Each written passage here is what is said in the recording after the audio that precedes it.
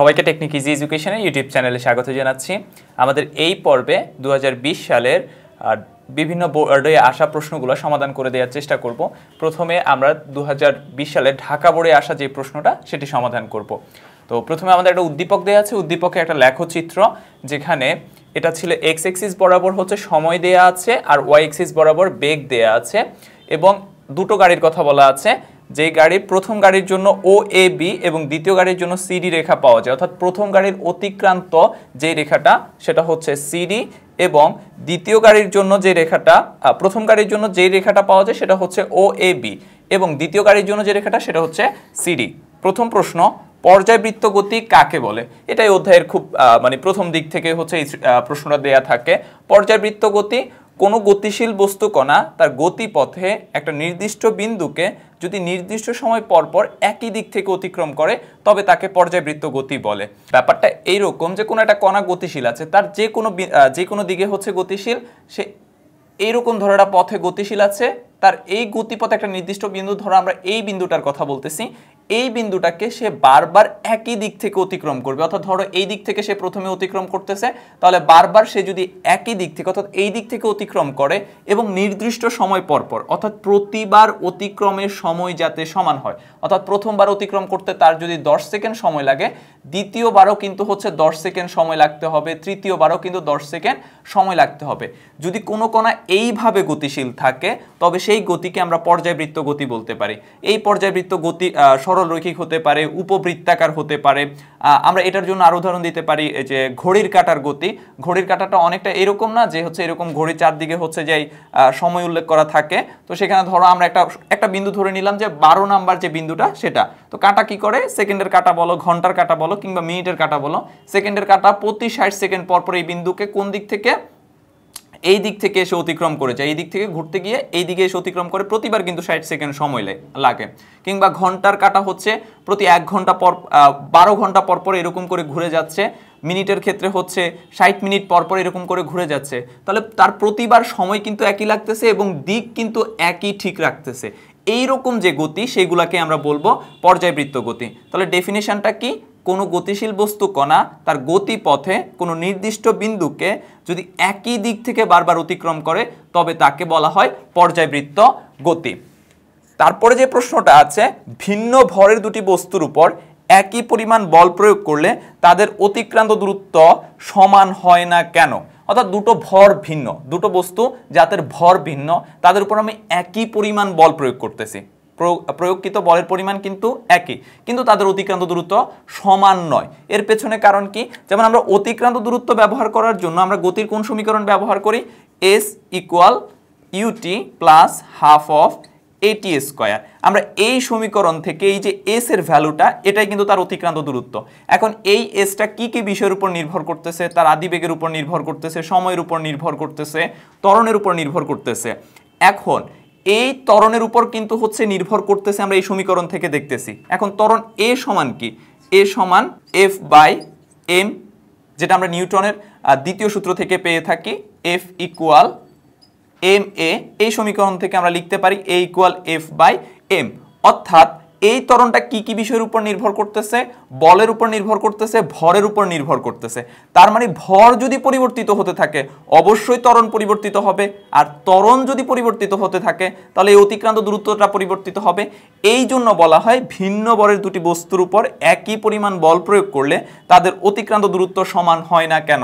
তাহলে আমরা বলব যে আমরা অতিক্রান্ত দূরত্ব নির্ণয়ের জন্য সমীকরণ ব্যবহার করি S equal UT plus half of AT square অর্থাৎ অতিক্রান্ত দূরত্ব ত্বরণের উপর নির্ভর করে, আর ত্বরণ সমান A equal F by M এবং আমরা দেখতেছি এই সমীকরণ থেকে ত্বরণ ভরের উপর নির্ভর করে, তাই ভর ভিন্ন হলে বস্তুর অতিক্রান্ত দূরত্ব ভিন্ন হবে। আমরা যদি ক, খ বুঝে থাকি, এবার আমরা গ নাম্বার প্রশ্নটা সমাধান করি। গ নাম্বার প্রশ্নে কি বলেছে? প্রথম গাড়ির ত্বরণ নির্ণয় করো। প্রথম গাড়ি কোনটা বলেছে?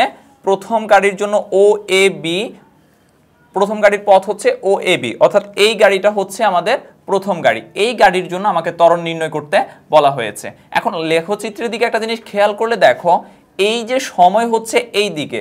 সময় যখন প্রতিনিয়ত বৃদ্ধি পাচ্ছে, বেগের মান কিন্তু ক্রমান্বয়ে বৃদ্ধি পাচ্ছে। যার ফলে বিশ সেকেন্ড পর্যন্ত বেগের মান কিন্তু শূন্য থেকে চল্লিশ পর্যন্ত হয়ে গেছে। তারপর এবার খেয়াল করো, বিশ থেকে চল্লিশ পর্যন্ত, এই যে চল্লিশ পর্যন্ত যে দূরত্ব এই ক্ষেত্রে কিন্তু বেগের মান ফর্টি রয়ে গেছে, অর্থাৎ বেগ কিন্তু আর এই ক্ষেত্রে পরিবর্তিত হয় না তা আমরা জানি, সময়ের সাথে যদি বেগ পরিবর্তিত না হয়, তখন তাকে কি বলা হয়? সমবেগ বলা হয়ে থাকে। তার মানে এইটুকু হচ্ছে সমবেগে, আর সমবেগের ক্ষেত্রে কি? ত্বরণ শূন্য। তাহলে প্রথম গাড়ির ত্বরণ নির্ণয় করতে বলা হয়েছে, এর মানে হচ্ছে আমার এই যে ও থেকে এ পর্যন্ত যে দূরত্ব, এই ক্ষেত্রে তার ত্বরণ কত? সেই জিনিসটা আমাদেরকে বের করতে হবে। তাহলে প্রশ্ন নাম্বার হচ্ছে আমাদের গ। এখন এইখানে আমাদের কি কি ডেটা দেয়া আছে? আমরা ইনিশিয়াল ভ্যালোসিটি বা আদি বেগ ইউ সমান কত? ইউ সমান আমার দেওয়া আছে এই যে এই বিন্দুতে তার যে বেগটা, এই বিন্দুতে বেগ কত হবে? মূল বিন্দুতে বেগ অবশ্যই জিরো তাহলে U equal zero metre per second তারপর শেষ বেগ, অর্থাৎ ফাইনাল ভ্যালোসিটি ভি সেটা কত? এই যে এইখান থেকে বৃদ্ধি পেতে পেতে সে এইখানে এসে যে বেগটা অর্জন করেছে, সেটাই হচ্ছে তার শেষ বেগ। কারণ আমরা এইটুকুর জন্য ত্বরণ নির্ণয় করব। তাহলে এইখানে তার বেগ কত? এই যে এইখানে আমরা বেগটা দেখতে পাচ্ছি ফর্টি মিটার পার সেকেন্ড তাহলে ভি অর্থাৎ শেষ বেগ হচ্ছে ফর্টি মিটার পার সেকেন্ড। আর এর জন্য তার সময় কত লেগেছে? দেখো, এই যে এইখান থেকে এই পর্যন্ত, এর জন্য সময় কত লেগেছে? বিশ সেকেন্ড সময় লেগেছে। এই ক্ষেত্রে সময়গুলো সেকেন্ড উল্লেখ করা আছে। তাহলে বিশ সেকেন্ড সময় লেগেছে, তার মানে টাইম বা সময় ইকুয়াল টোয়েন্টি সেকেন্ড। আমাকে বের করতে বলেছে কি? অ্যাক্সিলারেশন বা ত্বরণ বের করতে বলেছে, অর্থাৎ এ ইকুয়াল হোয়াট আমরা কি জানি? আমরা জানি A equal V minus U by T অর্থাৎ শেষ বেগ বিয়োগ আদিবেগ তাকে সময় দিয়ে ডিভাইড করব। তো শেষ বেগ কত? শেষ বেগ হচ্ছে ফর্টি আদিবেগ কত? আদিবেগ হচ্ছে জিরো আর সময় কত? সময় হচ্ছে টোয়েন্টি তাহলে চল্লিশ থেকে জিরো গেলে জিরো ফর্টি আর তাকে টোয়েন্টি দিয়ে ডিভাইড করলে two metre per second square এটাই কিন্তু আমাদের অ্যান্সার কারণ আমাকে শুধু ত্বরণ নির্ণয় করতে বলেছে এবং সেই সাথে আমরা বলে দিব যে এ বি পথে সে সমবেগে অতিক্রম করে। সুতরাং এই ক্ষেত্রে গাড়িটির ত্বরণ শূন্য, অর্থাৎ গাড়িটির ত্বরণ ও এ পথে two metre per second square আশা করি বুঝতে পেরেছ এটা। এবার আমরা ঘ নাম্বার প্রশ্নটা দেখব। ঘ নাম্বার প্রশ্নে আমাদেরকে কি বলেছে? ত্রিশ সেকেন্ডে কোন গাড়িটি বেশি দূরত্ব অতিক্রম করবে? অর্থাৎ এখানে দুটো গাড়ি ও এ বি পথে একটা গাড়ি চলতেছে আর সিডি পথে একটা গাড়ি চলতেছে। তা আমাকে জিজ্ঞেস করেছে, কোন গাড়িটি 30 সেকেন্ডে বেশি দূরত্ব অতিক্রম করবে? এখন দেখো 30 সেকেন্ডের ক্ষেত্রে আমি যদি মার করি, এটা হচ্ছে সিডিটা হচ্ছে আমার দ্বিতীয় গাড়ি। সিডি হচ্ছে দ্বিতীয় গাড়ি সিডি এর জন্য সাইড থেকে নামতে নামতে ত্রিশ সেকেন্ডে সে বেগ শূন্যতে নেমে গেছে। এবং প্রথম গাড়ির ক্ষেত্রে কি হয়েছিল? ও থেকে এতে উঠেছে বিশ সেকেন্ডে, অর্থাৎ বেগ বৃদ্ধি পেয়েছে চল্লিশ চল্লিশ মিটার পার সেকেন্ড পর্যন্ত, বিশ সেকেন্ডে। তারপরের যে, এই যে ত্রিশ পর্যন্ত, যেই সময়টুকু ত্রিশ পর্যন্ত যেই সময়টুকু, এটা হচ্ছে সেই সমবেগে গেছে। তার মানে আমি প্রথম ও এ বি গাড়ির ক্ষেত্রে দুটো অংশে করতে হবে। একটা অংশ সে তরণে চলেছে তরণ চলার তরণে চলার ক্ষেত্রে সে অতিক্রান্ত দূরত্ব কত সেটা বের করব। তারপরের টুকু সে সমবেগে চলেছে, সেই ক্ষেত্রে হচ্ছে অতিক্রান্ত দূরত্ব কত সেটা বের করব। তাহলে আমরা যদি এটা ঘ নাম্বার প্রশ্নটা সমাধান করি, প্রথম গাড়ির ক্ষেত্রে, প্রথম গাড়ির ক্ষেত্রে আমাদের কি কি ডেটা দেওয়া আছে?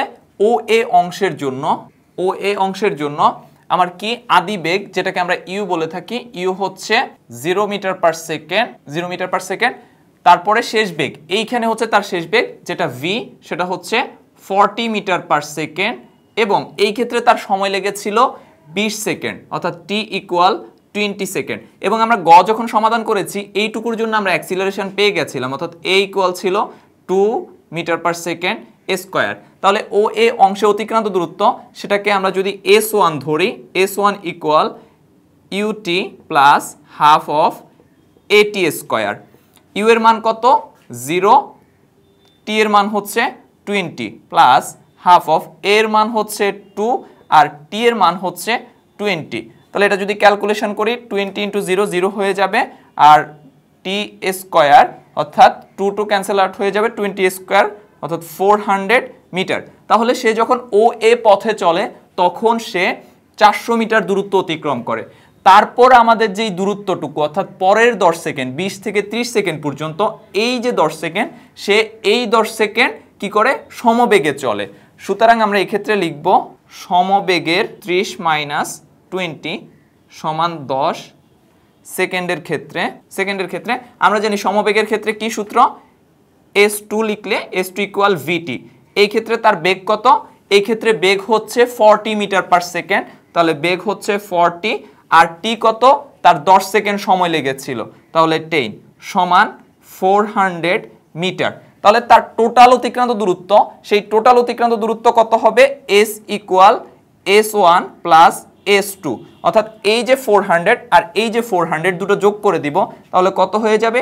এইট হান্ড্রেড মিটার অর্থাৎ আমরা প্রথম গাড়ির ক্ষেত্রে ও এ বি গাড়ি, পথে যে চলা গাড়িটি, সেই গাড়িটির ক্ষেত্রে আমরা অতিক্রান্ত দূরত্ব পেয়েছি আটশো মিটার। তারপরে যে গাড়িটি, অর্থাৎ সিডি পথে যে গাড়িটি চলে, তার ক্ষেত্রে এবার আমরা অতিক্রান্ত দূরত্ব বের করব। তাহলে পরের গাড়ি সিডি গাড়ির ক্ষেত্রে সিডি এর ক্ষেত্রে, যেটাকে আমরা বলতেছি দ্বিতীয় গাড়ি, তো এই গাড়ির ক্ষেত্রে অতিক্রান্ত দূরত্ব, সেটার জন্য আমাদের দেখো এইখান থেকে এই পর্যন্ত সে ক্রমান্বয়ে কিন্তু বেগ হ্রাস করতেছে। তার মানে কি? তার হচ্ছে মন্দনে চলতেছে। তাহলে আমার প্রথম কাজ কি? আমাকে মন্দন বের করতে হবে। তো এই ক্ষেত্রে মন্দন বের করার জন্য আমরা সূত্র ব্যবহার করব A equal V minus U by T V এর মান কত? ভি এর মান হচ্ছে শেষ বেগ। শেষ বেগ কত? জিরো। আর আদি বেগ সেটা কত? সিক্সটি। আর এই ক্ষেত্রে তার সময় কত লেগেছিল? ত্রিশ সেকেন্ড সময় লেগেছিল। অর্থাৎ minus two metre per second square এটা হচ্ছে সিডি এর ক্ষেত্রে তার যে ত্বরণ। এরপর আমরা অতিক্রান্ত দূরত্ব বের করব। অতিক্রান্ত দূরত্ব, এটাকে যদি আমরা এস ধরি, তাহলে এস এর ক্ষেত্রে বা এস প্রাইম ধরি, আমরা যেহেতু এখানে এস ধরেছিলাম, এটা এস প্রাইম ধরলে সূত্র হবে UT plus half of AT square U আদি বেগ সেটা কত? সেটা হচ্ছে সিক্সটি মিটার পার সেকেন্ড তার সাথে সময় গুণ হবে। সময় কত লেগেছিল? তার 30 সেকেন্ড সময় লেগেছিল। প্লাস হাফ, এর মান কত? এর মান আমরা এখানে ক্যালকুলেশন করে পেয়েছিলাম মাইনাস টু। আর তার সাথে গুণ হবে সময়, অর্থাৎ সময় কত? Thirty square. তাহলে এই ক্ষেত্রে ক্যালকুলেশন করলে আমরা ভ্যালুটা পাবো। এইটুকু ক্যালকুলেশন করলে আমরা পাচ্ছি নয়শো মিটার। অর্থাৎ আমরা প্রথম গাড়ির ক্ষেত্রে অতিক্রান্ত দূরত্ব পেয়েছিলাম আটশো মিটার, আর এই গাড়ির ক্ষেত্রে আমরা অতিক্রান্ত দূরত্ব পেয়েছি নয়শো মিটার। আমাকে বলেছে যে কোন গাড়ির বেশি দূরত্ব অতিক্রম করবে। তাহলে আমরা সেটা বলে দিব, যেহেতু যেহেতু S prime is greater than S সুতরাং কোন গাড়ি? এস প্রাইম দ্বারা আমরা হচ্ছে সিডি পথে যে গাড়িটা চলেছিল সিডি পথে কোন গাড়ি চলেছিল? দ্বিতীয় গাড়ি চলেছিল। তাহলে সুতরাং দ্বিতীয় গাড়ির অতিক্রান্ত দূরত্ব বেশি। তাহলে দ্বিতীয় গাড়ির ক্ষেত্রে অতিক্রান্ত দূরত্ব বেশি। তার মানে হচ্ছে আমরা পেয়ে গেছি আমাদের কোন গাড়ির অতিক্রান্ত দূরত্ব বেশি, সেটা নির্ণয় করতে বলেছিল 30 সেকেন্ডে, আমরা সেটা নির্ণয় করেছি দ্বিতীয় গাড়ির অতিক্রান্ত দূরত্ব বেশি। আশা করি চারটা প্রশ্নই বুঝতে পেরেছ। পরবর্তী বোর্ড সলিউশন দেখার আমন্ত্রণ রইল। এখানে শেষ করছি এই পর্ব। ধন্যবাদ সবাইকে।